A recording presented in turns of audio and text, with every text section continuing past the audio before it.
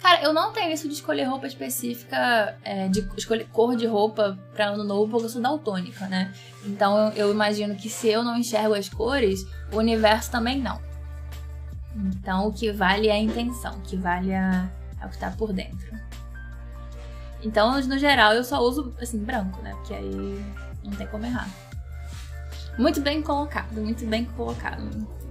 Cara, tem, tem várias. É, tem várias tradições de ano novo, né? Você colocar é, roupa de baixo de uma cor específica para atrair alguma coisa, né? Sei lá, vermelho, amor. Eu sei que amarelo é dinheiro. Não sei por que amarelo é dinheiro, sendo que verde parece mais. tenha mais a ver com dinheiro, mas enfim.